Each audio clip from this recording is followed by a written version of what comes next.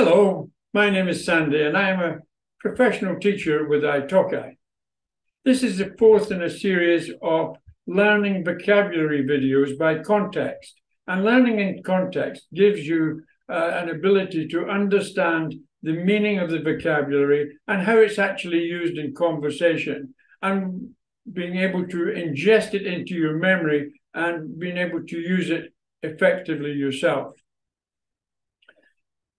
Over the years, I have also taught many students to uh, prepare themselves for interviews, for internships, uh, in, uh, university interviews, etc., as well as business English to students and senior management, working in addition with public speaking and giving uh, good presentations is all the strengths that I help people with their English skills.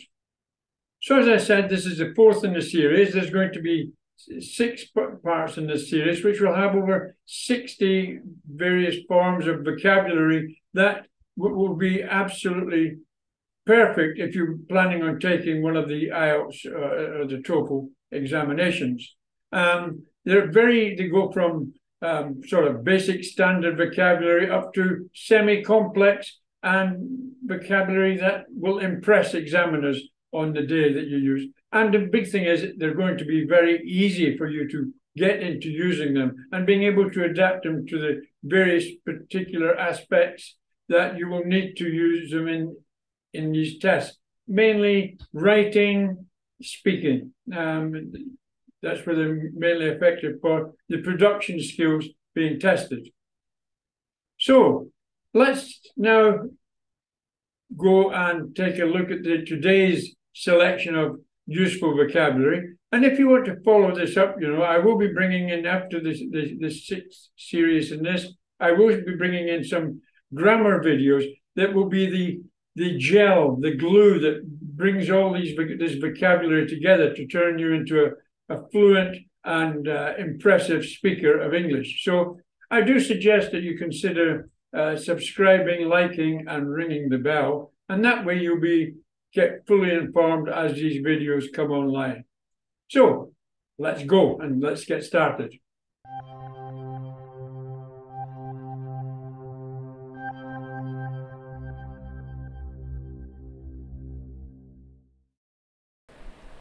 Okay, just before we get started, let me just remind you of the way I recommend that we learn these words, that how we ingest them into our memory, um, is by using flashcards, writing the the vocabulary down in the front of the flashcard along with its definition and then constructing two or three sentences on the rear of the card that when you're looking at them will remind you of how you can use them easily in your own idea and uh, that way you will get, get these into your uh, active memory as quickly as you possible. Um, as I say, take your flashcards out and sort of regularly check them, look at them, learn them, etc. And you'll pick up the words pretty quickly. So anyway, the first word today is application. And this is a word that we use in several, several ways, similar meanings. Uh, you could be applying for a job in an application form, etc. But today we're talking about the use or implement, implementation of something very typical is the, the apps for your phone. They're all applications for your telephone or your computers, etc. Um, so you'll know what, what application means there. The, the example I've given here is the application of new technology has greatly improved our production process. So there we are, application. So, moving on to the word authentic. Authentic. This is a very good word that could be used in many applications authentic. Is this real? Is it genuine? Is it not copied? Is it not false? Uh, it's authentic. The example I'm giving here is the painting. The painting was deemed authentic by a team of art experts, so it was considered real and original. Consistent. Are we being consistent? We require consistency. So what does it mean? In agreement or accord with something. Always behaving in the same way. It's being consistent. They are acting consistently. The example, her work has always been consistent in terms of quality and style. Excellent. Okay, critique. Critique. A little bit difficult for some people to say, perhaps. Have you ever looked at something and been critical? Have you criticized it? Have you given your critique? Which is a detailed analysis or assessment of something, often highlighting its strengths and or weaknesses. Critique, the example here is excellent. The film received mixed critiques from critics, those that give critiques, with some praising it and others criticizing it heavily. So, a perfect example there. So our next word is depict. Depict. To represent or show something in a particular way. The painting depicts a scene from a medieval castle. Wow, the painting depicts a scene from a medieval castle. The painting is depicting a scene from a medieval castle. Depicting. Okay, to describe, describe. To give an account in words of something or someone, including its appearance, nature, and characteristics.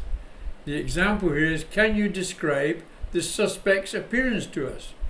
Can you give us a description of the suspect? Who are you describing to them? So the many words that you can use from describe, and it's a very easy one. The, the passage describes what the person was thinking. Okay, to evaluate, to evaluate to assess or judge the value, quality or importance of something. To assess or judge the value, quality or importance of something. Evaluate. Evaluation. So another another one to add to your collection. Examine. Examine. A fairly simple piece of vocabulary, but it can be adapted to many, many aspects very easily. Examine, to inspect, investigate or scrutinize something in detail. Examine, examination, the examiner. Eh, very easy to adapt. The doctor examined the patient thoroughly to determine the cause of his symptoms.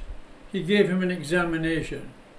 So exactly as we do in our tests. We examine, we give people examination, we examine them. So, good. Implication, implication. Another excellent word that can be adapted many ways in your writing or your speaking. It was implied. He was implying. Are you implying? She was implying. It was implic- he was implicated in this action implication, a conclusion that can be drawn from something, often something that is not explicitly stated. So, implication. The implication of his statement was that he did not trust the company's management. Another absolutely excellent word that would impress various examiners in the test, or you could use it to, to impress people when you're talking. So another one to put down and put it into your active memory. And I'm just going to explain a little bit more about that before we close here.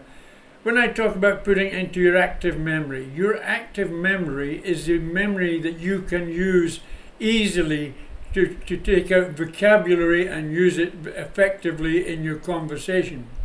Your passive memory possibly contains much more vocabulary than your active memory, it, and it contains vocabulary that you've got a good idea what it means and you know if people use it you will understand it, but you will find it difficult to use yourself easily in uh, any conversation or writing, etc. So that's your passive, your passive memory and your passive vocabulary that you, you've got a good idea about, etc. But it's not effective like your active vocabulary, the things that you can pull out right away and use them effectively and impress others. So that's the last of today's words.